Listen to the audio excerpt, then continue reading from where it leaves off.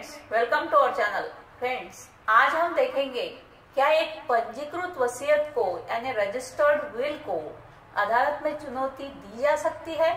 Friends video अंत तक देखिए लाइक कमेंट शेयर कीजिए और सब्सक्राइब करना न भूलिए। तो चलिए जानेंगे। वसीयत एक कानूनी साधन है, यानी लीगल डॉक्यूमेंट है, जिसके माध्यम से वसीयत करता यानी जो व्यक्ति वसीयत बनाता है वो व्यक्ति। उसकी आखिरी इच्छाओं को अपने निधन पर, अपनी संपत्ति के हस्तांतरण के रूप में रिकॉर्ड करता है।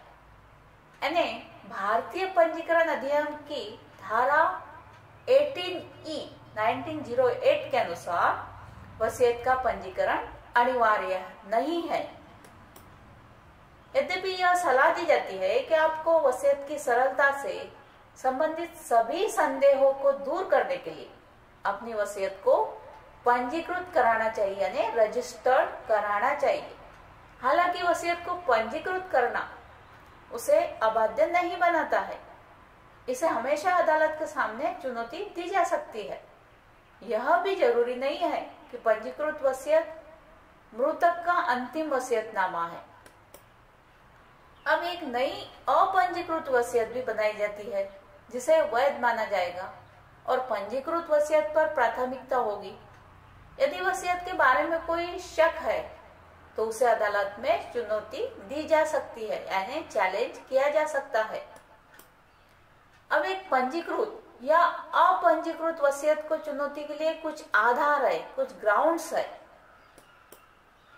अनुचित प्रभाव, यानी अनुचित प्रभाव एक ऐसी स्थिति को संदर्भित करता है, जहाँ आपके द्वारा किसी निश्चित तरीके से कार्य करने के लिए प्रेरित किया जाता है, जो आपकी स्वतंत्र इच्छा के विरुद्ध या परिणाम का पर्याप्त ध्यान किए बिना होता है।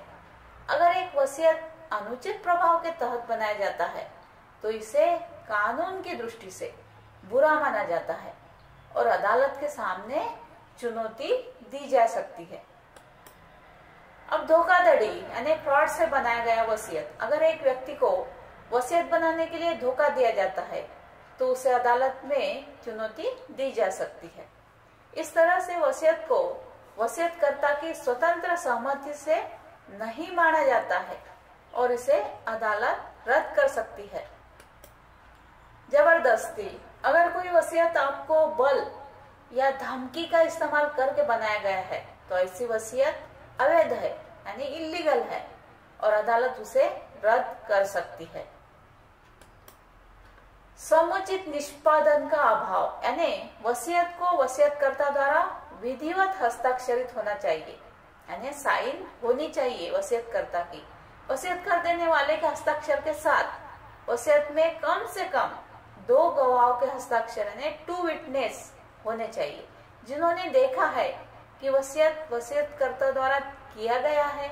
अगर इनमें से कोई आवश्यकता पूर्ण नहीं हुई तो वसीयत को वैध नहीं माना जाता है। वसीयत क्षमता का अभाव, यानी वसीयत करने वाला व्यक्ति को वसीयत की प्रकृति और परिणामों को समझना चाहिए। वसीयतकर्ता को पूरी तरह से समझना चाहिए कि वह संपत्ति का किस तरह का निपटान या विभाजन कर रहा है। और वह मानसिक रूप से फिट होना चाहिए। निरसन, वसीयत बनाने के बाद वसीयतकर्ता खुद वसीयत को रद्द कर सकता है।